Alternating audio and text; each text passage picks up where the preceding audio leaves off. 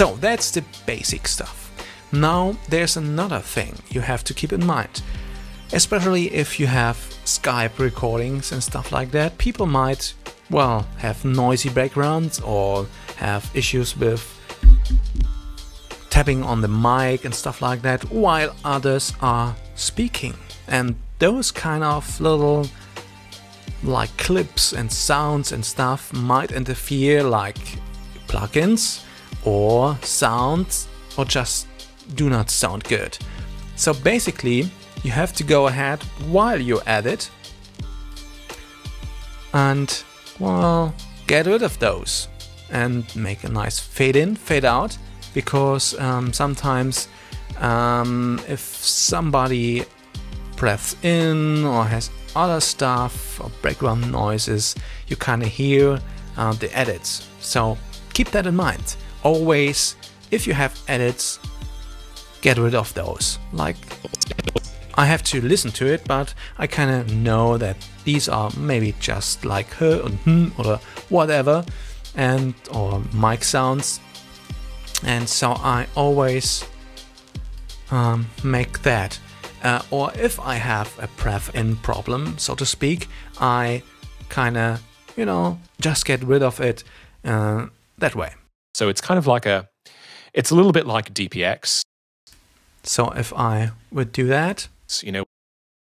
So it's kind of like a, it's a little well, in this case, it's not that bad uh, because I worked on the compression settings, but yeah, sometimes you can get rid of breath in sounds that way. I don't want to go in too much detail. Um, just one more thing, basically. When you edit something, always check your edit. Um, that can be a tricky part and sometimes takes a lot of time, um, especially if you have long recordings, but yeah, can help you with a lot of stuff that goes on. Let me see if I can find a edit point. I just play that part here. Turn. yeah, quite magic indeed.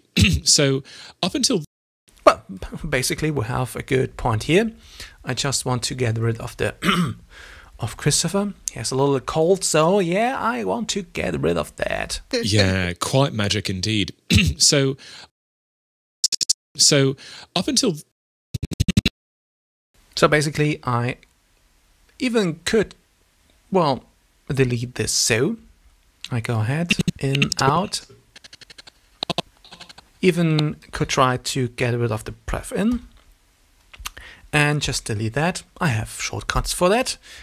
And now I go back in time, so to speak, and check the edit. magic indeed. Up until up until very recently, uh, So basically, um, I it's not working that well, so I just I edit that out. indeed. So up until up until very recently, Basically, I edit that repeat as well. Okay.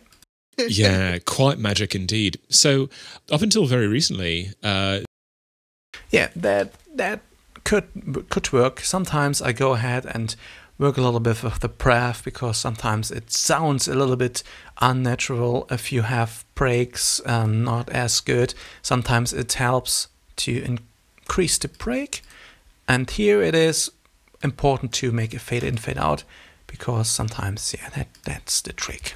yeah, quite magic indeed. So up until very recently, uh, Yeah, that could work a little bit more um, if I, I have the time. And basically, what I do in the meantime, I go ahead and fade in, fade out, stuff like that.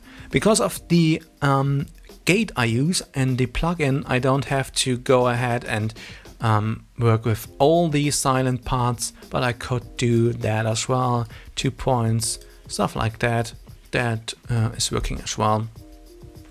Uh, so yeah, you get the idea. Um, I hope that kind of gives you an idea what to do um, with your edits. Always check them, fade in, fade out. Use a gate if you have the basic uh, equalizer settings get rid of the low end, even though sometimes the voice doesn't sound as trailer like as you would like, but it can help with long recordings to get rid of the plop sounds and other low frequencies that really can mess up your basic compression and limiter settings.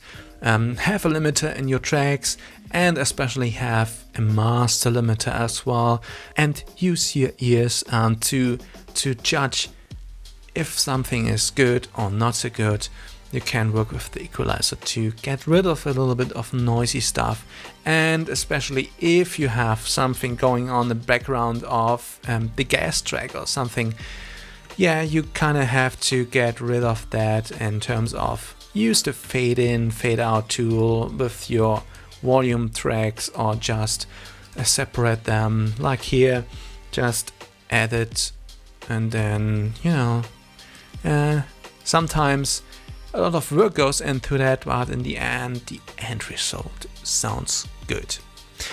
Yeah, that's it. I hope I didn't mess up your your workflow. Every person has a different kind of workflow. Well, well hmm, anyway, matter of taste. So I hope that did help a little bit. If you have any questions, please send me an email or something, uh, and I can look into it. I might go a little bit into detail with other stuff in the next tutorials. And one more thing, um, I found uh, just today a nice little um, blog post that gets a little bit more into frequencies and what frequencies you should use or pay attention to, and some quick tips. Um, but this guy again, yeah, he is good, he is amazing. I put the link somewhere on my blog where you can find all kinds of different things and stuff and links and whatnot. And yeah, check that out and have fun with your edits. Hear you soon.